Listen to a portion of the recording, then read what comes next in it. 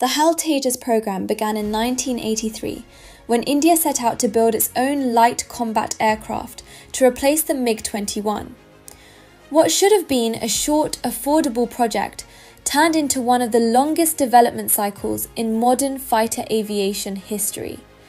Design challenges, aerodynamic issues, engine changes, certification hurdles, and repeated restructuring pushed the program far behind schedule. What was once planned for the 1990s finally reached squadron service more than 30 years later. With every delay, project costs kept rising, turning Tejas into one of India's costliest indigenous defence programmes. The Tejas Mark 1 and Mark 1A that eventually entered service used the American GE F404 engine and a digital fly by wire control system. Their delta wing design gives strong agility and sharp handling.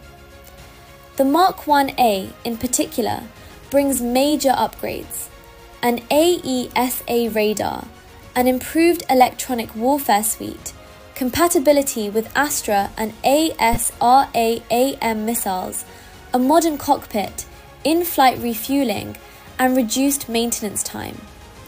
It is a clean and modern light fighter with strong avionics and good maneuverability. But the aircraft also carries real drawbacks. The first issue is the extremely slow development timeline, which delayed induction by decades and heavily increased project cost. The second is the reliance on foreign engines. Despite being called indigenous, Tejas depends completely on US made GE engines, which makes India dependent on external suppliers. The third limitation is that Tejas has never been used in actual combat. It has no wartime missions, no confirmed kills, and no real world strike experience. Production rates have also been slow, and engine shortages further delayed Mark 1A induction. For years, Tejas had a clean safety record, but that changed recently. In March 2024, a Tejas Mark 1 crashed near Jaisalmer after a training mission. The pilot ejected safely, and early investigation suggested an oil pump or lubrication failure. The second crash came in November 2025 during a high speed aerobatic display at the Dubai Air Show. The aircraft crashed and exploded on impact, resulting in the loss of the pilot. This high profile incident raised serious concerns at the exact moment India was trying to market Tejas to international buyers. These two crashes, 2024 in India and 2025 in Dubai, are the only recorded Tejas accidents so far, but they have influenced global perception.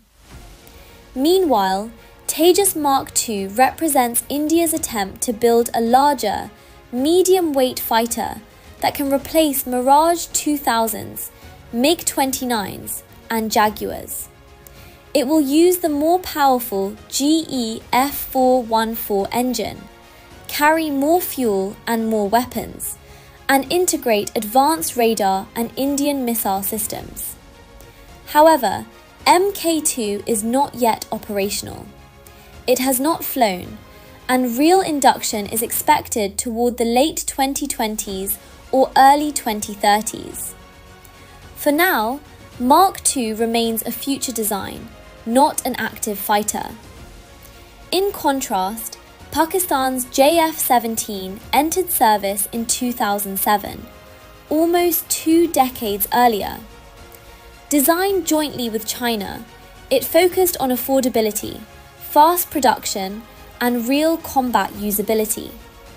The latest JF 17 Block 3 variant features an AESA radar, helmet mounted display, advanced electronic warfare systems, and the ability to fire the long range PL 15E missile, giving it serious beyond visual range capability. Unlike Tejas, the JF 17 has real combat experience. It has been used in precision strikes in counter terror operations, border engagements, and regional conflicts.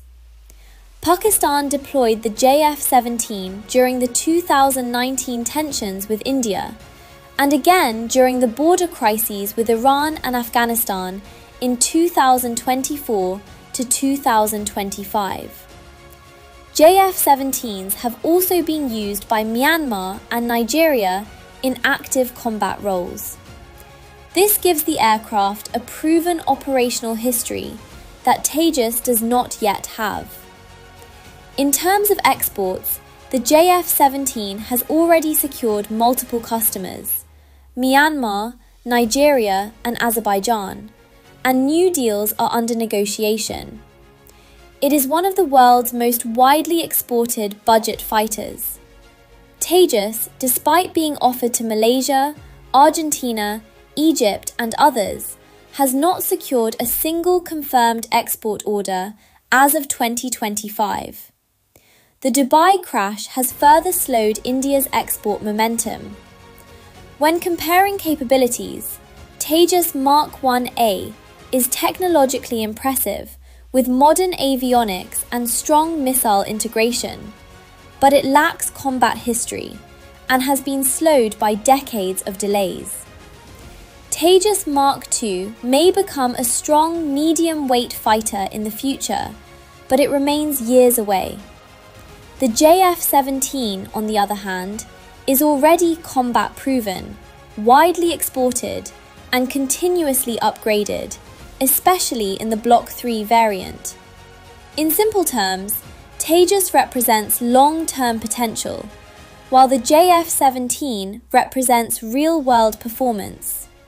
One is still fighting to prove itself, and the other has already established itself on the global stage. Science, space, future tech. Discover the wonders shaping tomorrow. Subscribe to Science Digest Pakistan and never miss a breakthrough. Like, share, and comment.